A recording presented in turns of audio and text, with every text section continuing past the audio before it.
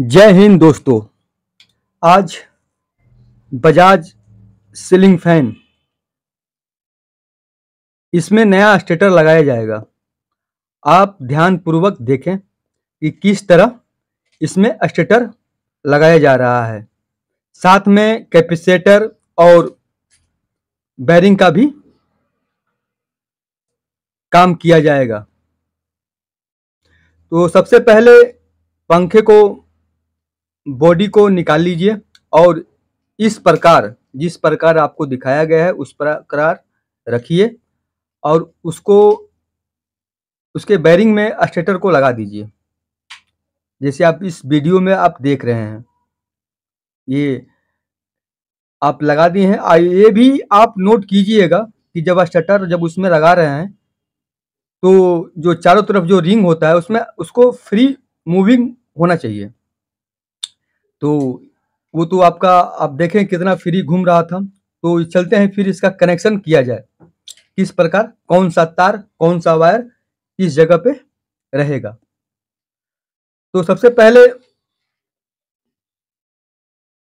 इसके बॉडी को आप तीन नट से इसको कंप्लीट अच्छी तरह से इसको पेच को टाइट कर लीजिए। उसके बाद आगे का प्रोसेस दिखाया जा रहा है, आप वीडियो के माध्यम से देख सकते हैं।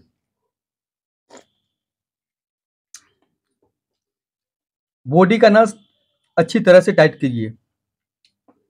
ढीला नहीं रहना चाहिए। कारण ये होता है कि ढीला हो जाने के बाद आवाज़ करने लगता है। आप चारों तरफ़ से देख सकते हैं कि कितनी अच्छी तरह से इसको टाइट कर दिया गया है और कितना फ्री, स्मूथ रनिंग कर रहा है।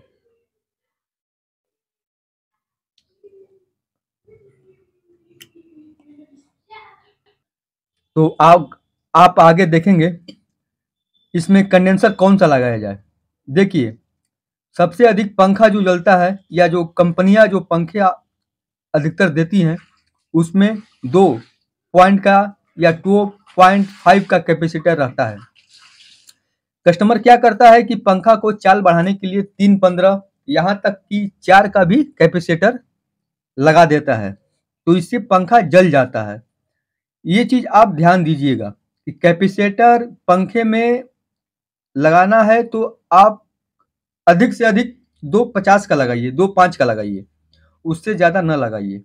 ज़्यादा लगाने से पंखा आपका जल जाता है तो इसमें हमने दो पचास का कंडेंसर लगाया हुआ है लगाने जा रहे हैं। तो आप कनेक्शन समझ लीजिए। लाल वाला जो है आपका ये मेन पॉइंट हो गया। और उसके अलावा जो ब्लैक और नीला जो है ये माइनस पॉइंट इसमें आपका जो लाल और पीला वाला जो है ए, लाल और नीला नीला वाला है इसमें कंडेंसर रहेगा। और लाल को मेन में कर दिया जाएगा। तो आप देख सकते हैं कि कैपेसिटर लगाने के बाद एक वायर नीला वाला में जोड़ा जाएगा और दूसरा वायर जो काला वाला है, लाल को नहीं छूना है। लाल आपका मेन हो गया। एक काला वाला कैपेसिटर में। जो कैपेसिटर का दो वायर होता है, दोनों पंखे का वायर में लग चुका है। अब उसके बाद टेस्ट हम लोग करेंगे। लाल को मेन पकड़ लीजिए और काला और जो नीला है, इसको माइनस में रखिए। आप देख सकते हैं, लाल रेड कलर का जो आपका वायर है, जब हम इसको काले वाले वायर में जब लगा रहे हैं तो पंखा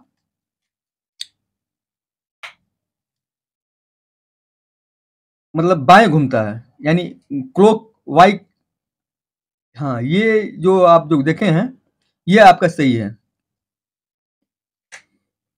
ये एंटी क्लोक एंटी क्लोक जो ऊपर से आप देख सकते हैं, लेकिन जब ये पंखा जब ऊपर लगेगा सीलिंग में तो ये क्लोक वाइक हो जाएगा। तो बाएँ और ध्यान ध्यान देने की बहुत ज़रूरत है। तो पंखा आपका कनेक्शन अगर करते हैं तो उल्टा और सीधा आपका ये, यही वायर आपका करता है। तो जो काला वाला है, ये आपका माइनस पॉइंट हो गया। और उसके बाद बचा एक नीला वाला। तो इसको हम करंट में नहीं देंगे।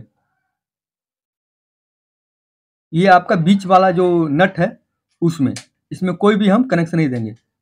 आपका एक लाल और एक काला आपका प्लस और माइनस का वायर हो गया।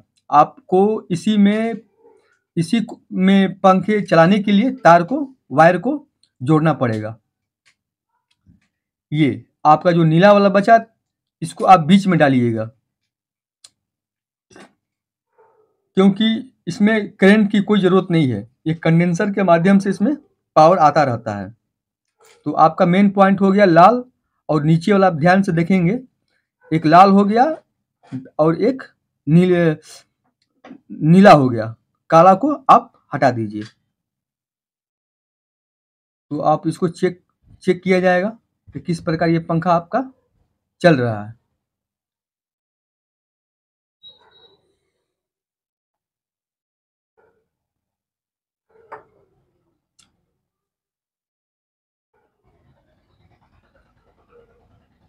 वायरिंग करते समय आपको नोट करना बहुत ज़रूरी है किस प्रकार इसका वायरिंग किया जाए। तो दोस्तों, आप टेक्निकल शॉप चैनल को इसी तरह सब्सक्राइब और लाइक करते रहें। आपको अच्छी अच्छी वीडियो हम इस चैनल पर दिखाते रहेंगे। तो दोस्तों, आज का वीडियो कैसे लगा? कमेंट में ज़रूर अपना राय दें। तो चलते हैं अगले वीडियो के लिए। तब तक के लिए हमें इजाज़त दीजिए।